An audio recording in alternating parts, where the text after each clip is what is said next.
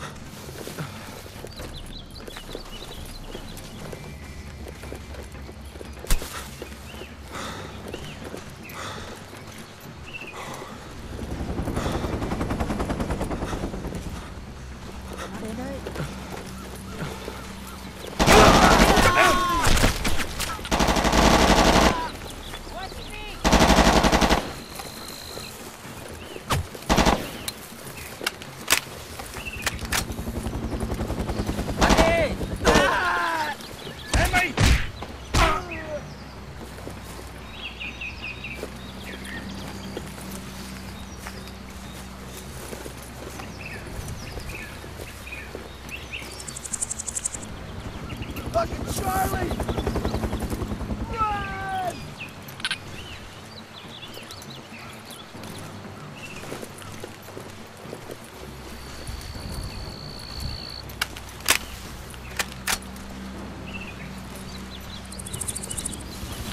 This way!